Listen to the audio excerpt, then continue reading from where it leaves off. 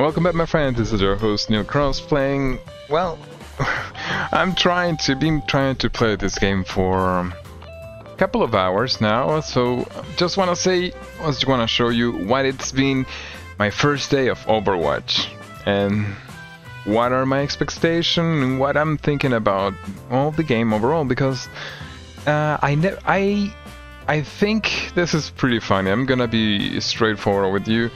I have this feeling, maybe you've felt that before, that you felt like you have played a game because you've seen it so much on on videos.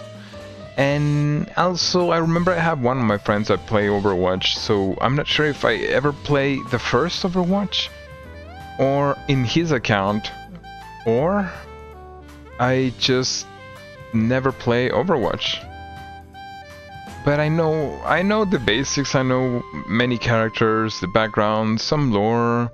Not not much because I was not interested at, at that moment in time.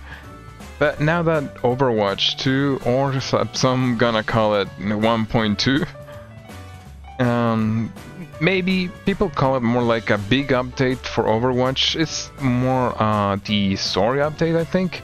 But Don't quote me on that, I'm not an expert on Overwatch, I'm just a new guy, been trying to play for the last 2-3 hours. and so I think many of you gonna be feel very very in touch with this video because you're feeling the exact same thing. Been trying to play for quite a while and we're getting closer and closer to that. So, how it's gonna be? Well, you're gonna have to discover it on the next video. But yeah, for the most part, I've been waiting and waiting and waiting. Which class I'm gonna be playing? Well, that's to discover, and uh, I think I think I'm leaning to I'm leaning to letting you know in the next video. But yeah, let's see what is the perspective of a new player on Overwatch. 2 for the first time. And I'm looking forward to this one. Really looking forward to this one.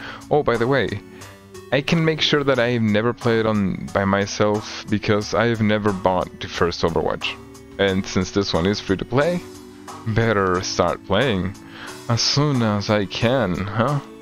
But well, I guess that it's all for my for you, my friend. This is just gonna be a short video of me waiting and expectations and what to see and what can you expect. Well, first of all, I don't play with keyboard or mouse. I don't play either with controller. I play with controller in my left hand and mouse in my right hand. So it's I call it the hybrid setup. It's uh, particularly unique. I think. Well, I until now I have never met anyone that play with that same setup. I know there people exist over there, out there. Hello. Uh, because I there there are products that you can buy like the Amon Elite Plus. I have one of those. The Venom X from from Imon too. Uh, I have that one too. I I've been looking into been playing with the hybrid setup since to 2009, I believe. Yeah, 2009.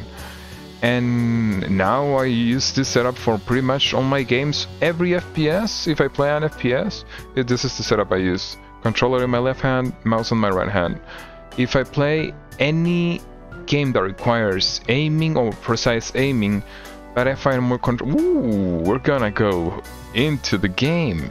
But the perspective is gonna be on the next video. But the thing is, if I play with that setup, how it's gonna go? Is it gonna be better to play like that?